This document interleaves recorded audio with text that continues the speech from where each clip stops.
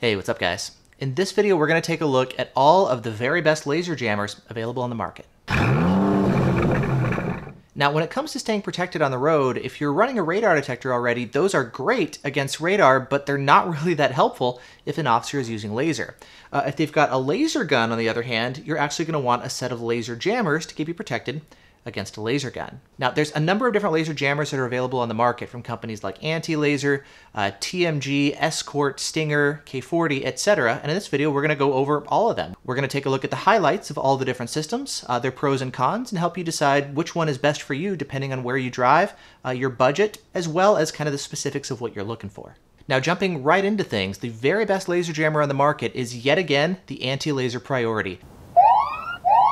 Pro Laser 3, ahead. This has consistently been the best performing jammer year after year after year. We found that out of all the laser jammers on the market, the ALPs are consistently the most effective and best performing laser jammers. Plus, Anti-Laser continues to keep the laser jammer updated over time, and they're doing the very best job out of all the manufacturers of actually obtaining the new police laser guns and making sure that they stay up to date as new guns come out. The ALP supports up to six heads total, so three in the front and three in the rear, technically more, but that's kind of more for future proofing stuff. What we're seeing today is that three heads front and rear is going to be sufficient coverage for most any vehicle, even some of the larger vehicles. Additionally, ALP has a lot of really cool advanced features like Pro Mode, which is really nice uh, to where the LED can actually light up and let you know exactly when you're being targeted, as well uh, as exactly when the officer lets off the trigger. This way you have a much better idea of exactly what the officer is doing on his end with the laser gun, and that's also really nice to let you know if you're the one being targeted and the LED is just lighting up strong, versus maybe it was just a quick scatter detection, just a little weak blip of the LED, and you weren't actually the one being targeted. So there's a lot of little things like that that are really nice about the ALP,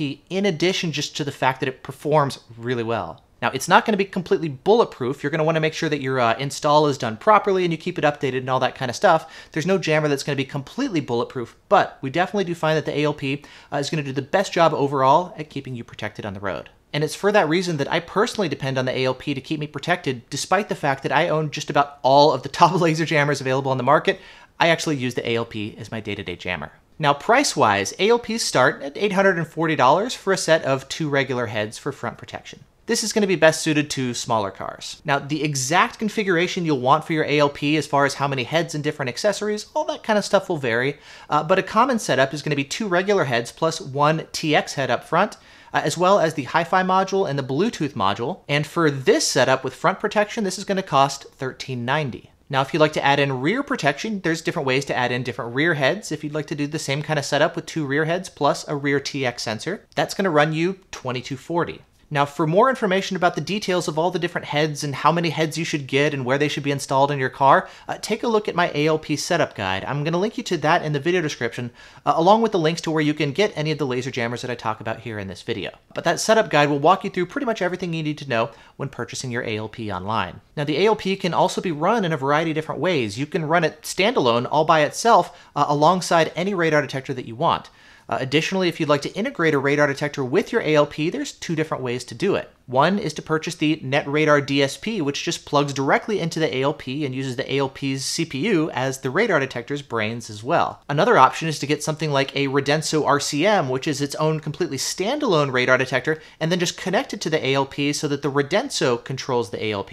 Now, without getting into too much detail, I'm more of a fan of the Radenso solution. I find that to actually work better uh, to integrate the ALP with the Radenso. I find there's some compromises that I'm really not a fan of when you add uh, the NetRadar DSP radar detector to the ALP. And so if you're looking for integration, usually the route that I would recommend uh, is the ALP for laser paired with the Radenso RCM for radar. Though, as I mentioned before, you can run the ALP standalone alongside literally any radar detector that you want. Now, to purchase the ALP, you can head on over to ALP's website here in the US and purchase it online. There aren't any discount codes or coupons available for the ALP here in the US, and in fact, ALP never really does any sales. They don't even do Black Friday sales or anything, so the price of the ALP is the price.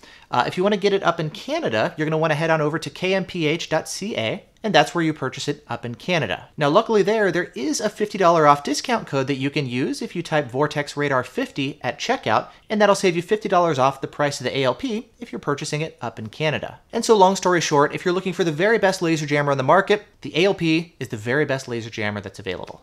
Now, that said, there's a bunch of other laser jammers that are available too, and depending on your situation, even though the ALP is the best, you may actually prefer another solution and it may actually be a better fit for you. So, let's talk about the other options that are available too. So, with the ALP, usually the main objection to the ALP is going to be the price. It is going to be a more expensive laser jammer. It's comparably priced, or maybe a little bit more than the competition, depending on how you have it configured. Now, you also got to factor in the cost of installation with something like this too. You can either DIY the installation or you can take it to a professional and have them install it for you. Uh, now, if you're looking to save some money, you want a more affordable solution, usually the go-to solution is going to be the TMG Alpha 15. This is going to cost less than the ALP does, plus the installation itself is also going to be a little bit simpler. The TMGs start at $630 instead of 840 like the ALP. Plus, if you take a look at the TMG CPU, it has a lot of things built in that with the ALP are optional accessories. Like for example, Bluetooth is built into the CPU. Uh, the speaker is also built into the CPU. You don't have to spend extra to get that, which is really nice. That's definitely going to make a difference once you start looking at kind of more comparably equipped setups. Like for example, if you wanted to go for a fully loaded ALP versus a fully loaded TMG, the ALP with two regular heads and a TX head for both the front and the rear uh, as well as the Bluetooth and the Hi-Fi module to give you some of the features the TMG has. That's going to retail for 2240 like I mentioned, versus the TMG uh, with two regular heads and a VPR head up front and the same kind of setup for the rear. That only retails for 1350. It's almost a $900 price difference. So that's going to be one of the big appeals here of the TMG. Now, you don't get something for nothing here. There are going to be some compromises with the TMG. Uh, the first thing and the biggest thing is going to be its laser jamming capability. It does not jam as well as the ALP. It's definitely gotten better over time, and TMG has even come out with the VPR head, a lot like how ALP has their TX head. And so TMG has improved over time, but nevertheless, what we're looking at today is the fact that, well, they're still struggling against some of the DragonEye guns, whether it comes to obtaining the guns to get algorithms to jam them, or maybe just not being able to jam them as reliably and consistently as some of the other laser jammers that are out there. Additionally, they may struggle even with some like LTI guns, for example. That said, against some of your easier guns, like your Kustom guns, uh, or even some of the newer stalker guns out there with VPR technology, the TMG does seem to do a pretty good job against them. So, depending on what you face in your area, the TMG might be sufficient for your needs.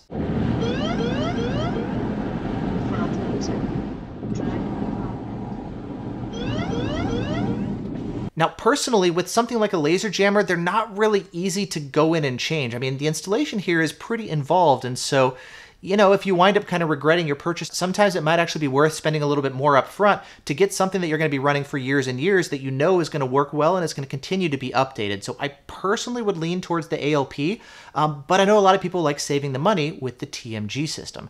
Uh, in fact, I saw a poll recently on RDF where uh, TMG owners were asked, you know, uh, once you get the TMG installed and everything, do you like the system? Are you happy with it? Versus do you kind of wish you'd saved up longer and went for the ALP? 55% uh, of people polled said they were happy with the TMG, uh, versus 45% of people said, hey, you know, I wish I would have saved up and gone for the ALP instead. So about 50-50, though a few more people actually said that they were happy with the TMG. So just another data point, something to consider. Now, besides the price and the jamming capabilities, which really I think are the two biggest differences, there's a couple other advantages and disadvantages that we should quickly talk about too. Uh, first of all, as I mentioned, kind of everything is self-contained here in the CPU. The Bluetooth, uh, the speaker, all the buttons, etc. There's no kind of extra like controllers and stuff that you have to wire in. You just plug in power, you plug in your TMG heads, and there you go. The advantage here is without all the extra things you need to put in your car, your installation is going to be simpler. It's going to be quicker. If you're doing it yourself, it's easier. If you're hiring a professional, it's going to save you on labor costs. Additionally, if you're a Valentine 1 owner and you have an Android, uh, the TMG also integrates with JBV1 just like your Valentine 1 does. So you wind up having an awesome, fantastic app uh, which can interface with both your radar detector and your laser jammer. Next, what about some of the disadvantages of the TMG? There's a couple others that we need to talk about there as well. First off, I mean, I mentioned everything is kind of self-contained here within the CPU. That also has some downsides to it um, because the speaker is right here. You're going to want to make sure that you install this in a place to where you can hear uh, the CPU, the speaker, while driving. Additionally, because all the buttons are here to control things, um, to configure the jammer, to press the update button if you want to update it, or uh, there's a little pin right here that you need to press in if you want to update the control set or adjust the volume. Some of these things you can do from the app, but some of them you're going to need physical access to the CPU. You want to kill the laser jammer jammers manually. You've got a button here for all that. And so for that reason, you're going to want to have this more accessible than you would in maybe another system to where you can kind of just put everything more hidden and tucked behind body panels. A lot of installs will wind up having your uh, CPU kind of more visible and more uh, accessible than some of the other installations where you can hide things a little bit better. In my car, for example, I have the CPU kind of uh, tucked away in just one of the little hidden pockets in my car. It takes up some of that pocket space, but I don't really use that pocket much for anything else, and it still winds up making the CPU accessible, and I can still hear it pretty well, uh, even though it's not going to be quite as loud as some of the other options. Additionally, there is no external alert LED available with the TMG at all. It's just an audio alert, um, and then maybe on the phone you can see the alerts there, but really you're just going to be dependent on the audio. There's no visual indication or external LEDs the way you get uh, with a lot of the other jammers. Another thing I find kind of annoying is uh, every time you start your car and the TMG powers on, it actually says system on. System on. And unfortunately, there's no way to go in and disable this announcement every time you start your car. For some people, it's not an issue. For me, I find it kind of annoying. And then finally, the last thing to mention is there is a ton of drama around the TMG system. It, it's really unfortunate. It's kind of a pain, to be honest. I mean, a lot of TMG owners, maybe they get attacked that, hey, you know, you should have bought a better system, or they wind up defending their system saying it's great, it's awesome, and then they even wind up attacking testers uh, who go and test and find, hey, we're seeing some issues with your systems.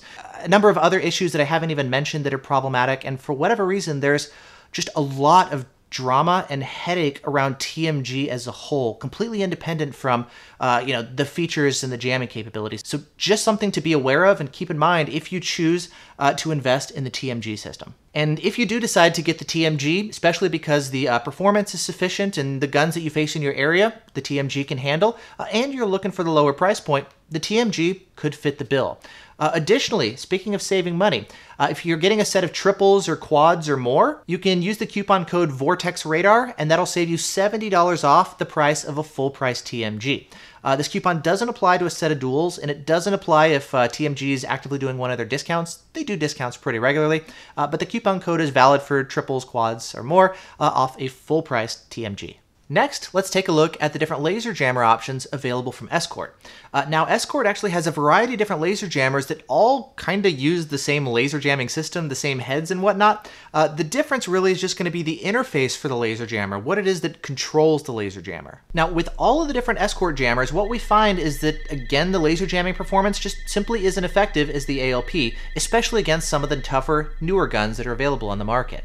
Additionally, Escort doesn't really update their laser jammers nearly as often as what we see from uh, ALP or even TMG. And this affects not only the uh, updates for the laser jammer to stay current for new guns that are coming out, but also different bug fixes or adding new important features over time. Like, for example, uh, most every laser jammer, I mean, of course, you have the ability to manually disarm. Uh, after you get shot, you slow down, you disable the jammer. Uh, plus, most all of these jammers have the ability to automatically disarm after a period of time, say three, four seconds, enough time to slow down, and then they'll automatically disarm. With the Escort, when it was released, it didn't even have that capability. That is a super standard feature that's available from pretty much every system. Escort, it was available on previous gen jammers, but not on their latest jammers. It actually took a while for them to add this same feature uh, to their current lineup. Now it's available, but it took a while because their updates are just kind of slow. And even in its current form, it's missing certain features like a gun ID to let you know exactly which gun the officer is using and what you've been shot with. Granted, that is more of an advanced feature. Not everybody necessarily needs to know that, but there's a couple other things that are lacking too. It's not just so much the things like it doesn't jam as well. Uh, another big thing to note is the uh, escort systems only support a total of four heads max. Uh, this can be fine in some situations, but not in others. For example, uh, you can run the system with all four heads up front, which is great for both smaller vehicles as well as larger vehicles, but then it means you have no protection in the rear. That could be fine in places where they shoot almost exclusively in the front. Up here, I notice about 50 50 split between front and rear. In other places, they shoot mostly in the rear. So a lot of that will vary depending on where you're driving. Now, let's say you want both front and rear protection. Because you're limited to just four heads max, that means you're going to be doing two heads in the front and two heads in the rear, which is fine for smaller vehicles, but then it limits your coverage uh, on larger vehicles. So, uh, Escort has been talking about a six head bridge box, the ability to get support for up to six heads, but that's been in the works for a long time and there's no ETA on that. So, Escort systems, four heads total, maybe four in the front, zero in the rear, or two front, two rear. Now, diving into the individual Escort systems, let's first start with the Escort ShifterMax. Uh, this is the laser jammer that's designed to integrate with Escort's custom installed radar detectors, such as the Max CI 360 or the Escort IX CI. Now, the main advantage of the uh, Escort ShifterMax, maybe compared to something like the ALP, which is the gold standard, um, the main advantage, I guess, is the fact that you would just have one controller and display for both radar and laser. You're not going to have to have a completely separate, independent system with an additional controller in your car. Everything is just a little bit more integrated. You are going to be sacrificing some in terms of performance and capabilities, but if you want the integration and that's your priority, the ShifterMax isn't bad, it's just not as good as the ALP. So that's kind of where you're looking at if you want uh, the integration with your Escort radar detector. I know a lot of people actually just run them standalone. That's a really popular option. Escort's custom installed radar detectors like the uh, Max CI 360, I think it's a great custom installed radar detectors. Pair that with the ALP, the best laser jammer, that's where a lot of people wind up going. But I know some people really want maybe fewer things installed in their car, and so they would say, hey, you know, I'm going to go for the uh, ShifterMax Escort's laser jammer, just integrate it with the Escort radar detector, and that's understandable too. Uh, now, the next option, this is probably my personal favorite out of the different Escort solutions, is the ZW5.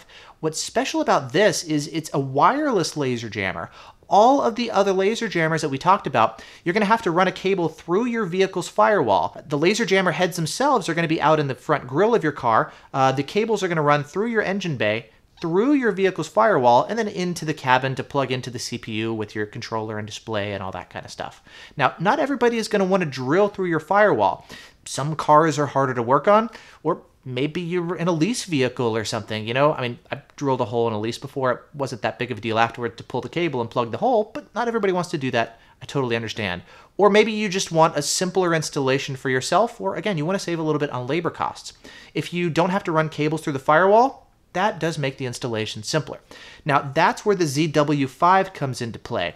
Uh, this is designed to, well, wirelessly communicate to a windshield mount Escort radar detector. There's a little box that you install in your engine bay that the laser jammer heads plug into.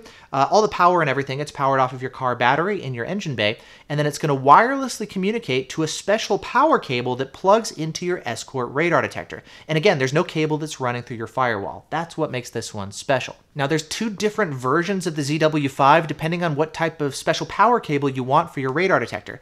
Uh, the easier solution is going to be the cigarette lighter option. You just plug it into your cigarette lighter, plug that cable into your radar detector, and then there's a tube in the radar detector's power cable uh, that kind of handles all the wireless communication. And then the radar detector itself, again, is going to be your controller and your display uh, when you get shot with laser.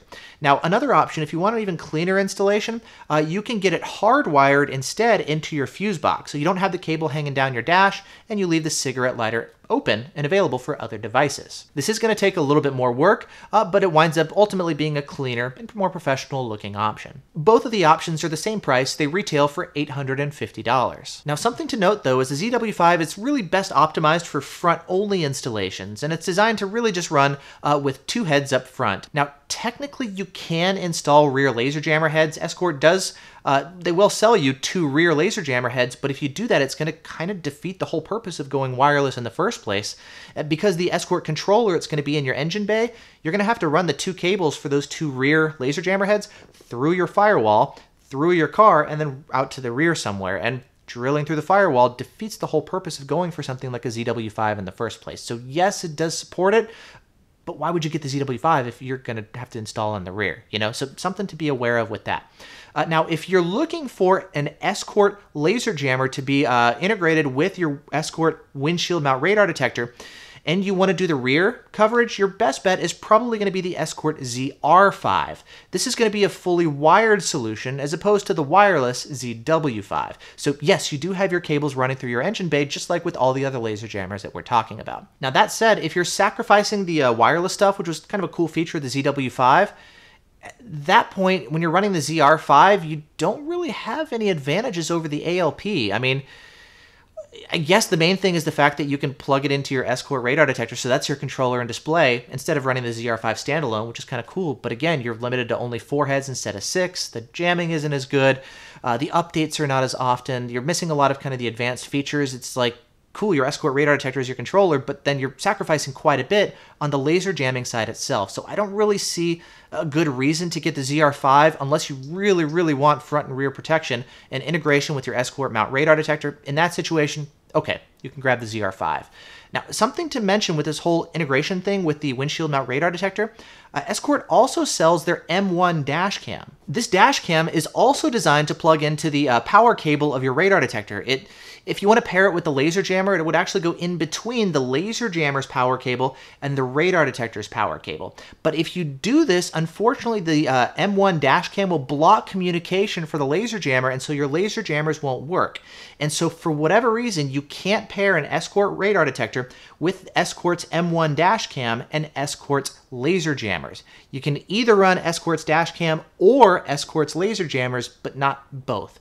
Really weird. I know. I, but yeah, it's not compatible to run all three of those. So something to be aware of depending on the setup that you want. Next up, let's talk about the Adaptiv TPX motorcycle specific laser jammer. This is a laser jammer that's, well, designed specifically for motorcycles. Now, you can run other laser jammers on motorcycles, and people do, like ALP. People run them on motorcycles. You're just going to have to install the CPU uh, somewhere where it's protected from the elements because the CPU, it's not waterproof, and if it gets wet, it can kill your CPU and it will void your warranty. So you can do it, you're just going to have to take some extra precautions. Now, TMG is working on a motorcycle laser jammer too, but there's no ETA on when that's going to be available. So if you want something that's available now that's specifically designed for motorcycles, well, there's the Adaptiv TPX solution. And what's unique about this one is the CPU itself actually comes in a waterproof housing.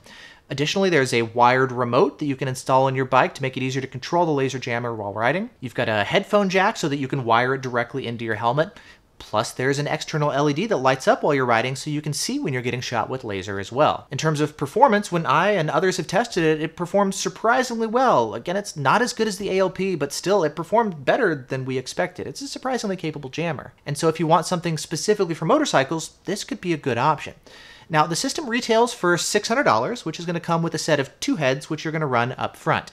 Uh, if you'd like some rear protection, they also sell uh, another $200 optional rear laser jammer head that you can put on the backside of your bike. Additionally, you can save 10% off the price of your purchase if you use the coupon code VORTEX. Next, let's take a look at the Stinger fiber jammers. These are pretty cool. Uh, they're basically going to be these little teeny tiny fiber optic heads like this. You're going to have one transmitter and one receiver pair, and they're going to be much smaller than your comparably equipped traditional laser jammer. This is an Escort laser jammer head. So instead of one head like this, you've got two little bitty kind of separate transmitters and receivers. And these can be especially nice if maybe you're driving an exotic car and you really care about the aesthetics. You don't want uh, something like this visible in the car. This is going to be a lot less visible. Additionally, some cars are just really tough to install on in the first place. Maybe the grill isn't conducive for installing laser jammers and you don't want to have to worry about cutting your grill. So if you want something super teeny tiny, uh, the Stinger laser jammers are going to be the best bet. Plus, these perform quite well. In my testing, they were the second best performing laser jammers behind the ALP, so the performance is there too. The downside, they're pricey. They're about twice the price of a comparably equipped ALP. To give you an idea on pricing, if you'd like a front protection, if you're going to go for a set of triples, so three sets of uh, transmitter receiver pairs up front, uh, that's going to cost you $2,200. If you'd like to add rear protection as well, and say you want to go for three pairs of heads for the rear, that's now going to run you $4,000. And that's also without a controller or display to use the system. There's a couple different ways, three ways specifically to, uh, uh, to interface with your fiber optic jammers. The first one is if you run the Stinger VIP radar detector, you can just integrate it directly uh, with the VIP. Now, I'm not a huge fan of the Stinger VIP radar detector. I mean, it was really promising, but I've just found it to be buggy and problematic and uh, issues with updates and the BSM filtering and I'm not a fan of their radar detector, but the laser jammers, these are the real deal. Now, if you want to run the Stinger jammers and maybe pair it with a different radar detector, there's well, two different ways to do that. Uh, one is for $25, Stinger actually sells uh, a little alert LED, a control button, and an alert speaker. Kind of the basics that you need to interface with the system. Uh, if you'd like something a little bit nicer, uh, for $100, Stinger also sells their, uh, their strip display, which is going to be a nicer kind of touch-sensitive controller along with the speaker so that you can hear the alerts. So $25 or $100 for your controller. So let's say if you drive an exotic sports car and your focus is really the aesthetics, much more so than the price, Stinger might be the way to go. Pricey, yes, but the tiny heads, they're pretty cool. Next up, a quick note about K40's offerings, the Defuser Optix. In short, they're the worst performing laser jammers currently available in the market, and I don't recommend them.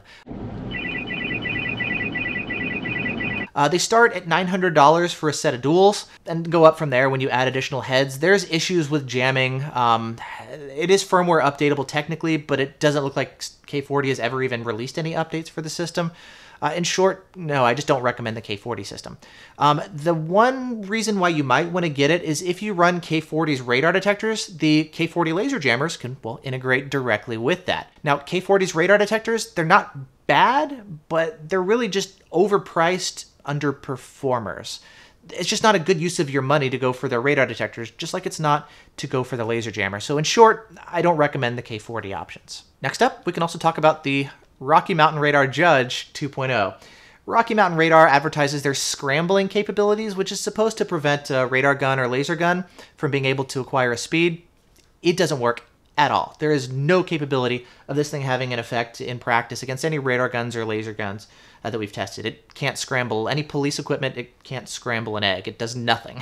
so I don't recommend uh, their $400 Judge 2.0. Just avoid it, period. Next, let's talk about Veil. This is another thing that you guys ask me about from time to time, uh, as maybe another alternative or a complement to laser jammers. The idea is it's a special paint that you would apply to the front of your vehicle, to your license plates, to your headlights, and it's designed to absorb the laser gun's beam and kind of minimize reflections off of your car back to the laser gun so the laser gun can't get any reading. In short, I don't recommend it. Um, the older version, Veil G4, I used to run it on my car it did seem to work in some situations, but there were issues with the formula that they were using actually damaging cars and even cracking some headlights. They changed the formula for Veil G5. Uh, it was super dark to the point of just being ridiculous and unusable. Plus, in that form, the performance actually went way down, and it just wasn't really effective in independent testing, including in my own testing. Um, since then, they've kind of diluted the solution. Uh, there's a new version of Veil that, well, it's not quite as dark, but then they're diluting it so it's going to be even less effective than the already ineffective darker solution. So, in short, no, I, I just don't recommend Veil. I would say maybe there's other options out there. If you want something to uh, run alongside your laser jammer, or maybe instead of, really the only thing that I would recommend is actually just running Waze.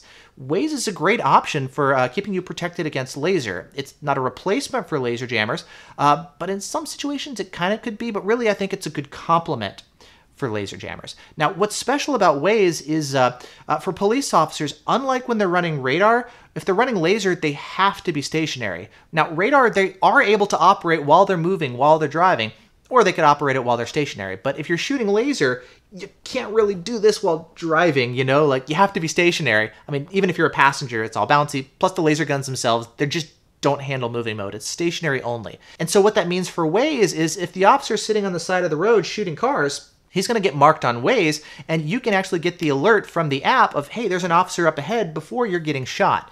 Now, this is going to work best, of course, in maybe highways that are really popular, really uh, heavily driven. So, in high trafficked areas and cities, Waze can be a great solution. Now, that's not going to work in every situation, of course. If the officer just arrived and he's not yet marked on Waze if he's hidden, if it's dark, if you're in an area with less traffic, or maybe you're on city streets or an area with no cell service, like the Waze is not going to help you. But in many situations, if you're driving around in the city, Waze can be a fantastic tool and I definitely recommend it. Now, that said, if you like Waze, there's also two other apps, especially for Android users, that you could take a look at. There's JBV1, which I mentioned earlier, uh, as well as Highway Radar. Uh, they also give you kind of the crowdsourced information, but they do an even better job than Waze does. With Waze, I know they've kind of been shortening the alert distance, so you get kind of like less and less advanced warning. And so you may not necessarily get the warning uh, ahead of time, depending on what the roads are like, how far away the cop's able to shoot you, where they're marked on Waze. Other apps can give you more advanced warning that you may actually need. There's a couple other nuances and differences as well, but I find that if you're running Android, take a look at JBV1 or maybe the simpler option is actually Highway Radar, and that can be a great maybe complement to your laser jammer. And so to quickly summarize, as far as the different options, if you're looking for the best laser jammer on the market, that's a pretty easy win for the anti-laser priority. Best performance, regular updates, it's what I depend on. It just consistently shows itself to be the top jammer. If you're looking for something more affordable, the TMG might be a viable solution depending on your needs. Uh, if you want to integrate with an escort radar detector, Escort has laser jammers that could work there as well.